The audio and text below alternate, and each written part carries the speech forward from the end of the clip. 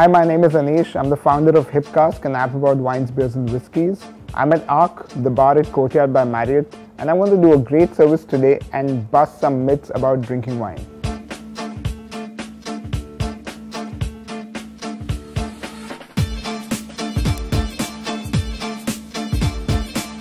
Vintage does not imply that the wine is old. Vintage just simply means what year it is. So this is a young wine, this is 2014 vintage. You can have an old wine which is 1980, but every year is called a vintage.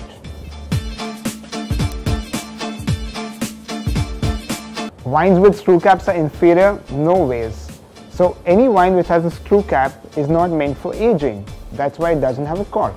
And you know what the cool thing is? How you can open a bottle with screw caps? You don't do this. You hold like this. Take your bottle. There you go. Right, left. No, I mean wrong. When it comes to wines, half empty or half full is the way to go. See how nicely I can swirl this? Perfect. This? Nah, not so much.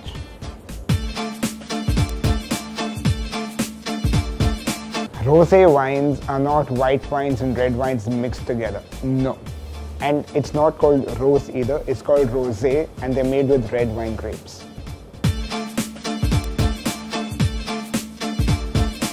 Unless you've just won the Formula One race, this is the proper way to open a sparkling wine. Always make sure you have a finger above the cork. Pull the tab. Anti-clockwise six times. That is it. Now hold the cork and you turn the bottle, not the cork. That's it. No mess, all yours to drink. Serving red wines at room temperature, absolutely perfect if you're in France, not in India. You want to chill your wine slightly, just put it in the fridge for an hour before serving and you'll be absolutely fine.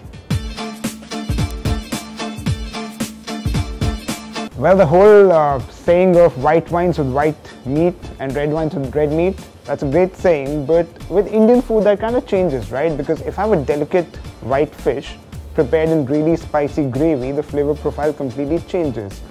So in India, think about your spices with your wines rather than your meat with your wines.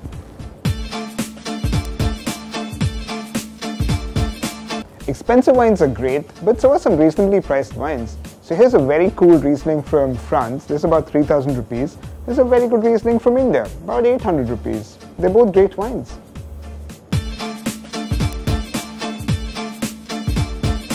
Well, you use cheap wine in sangria? Not a good option.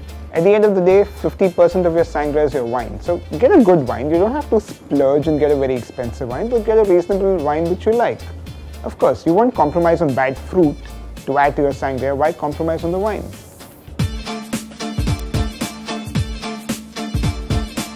Once you've opened a bottle of wine, drink it. At the max, keep it in your fridge for two days. Anything longer than that, unless you like drinking vinegar by the glass, shouldn't do it. All wine should be stored horizontally. Not completely true. Again, coming back to screw caps. If it's a screw cap, you, you, can, you can store it vertically. It's only that when a wine has cork, you want to keep it horizontally so the cork doesn't dry out. That's about it. How's that for some education, huh? And I'm telling you all of these tips are just gonna help you impress a date next time. Even if you're at a bar talking to someone, all of these things come handy. If you have some tips of your own, don't forget to comment and like, share and subscribe to Lakme School of Style.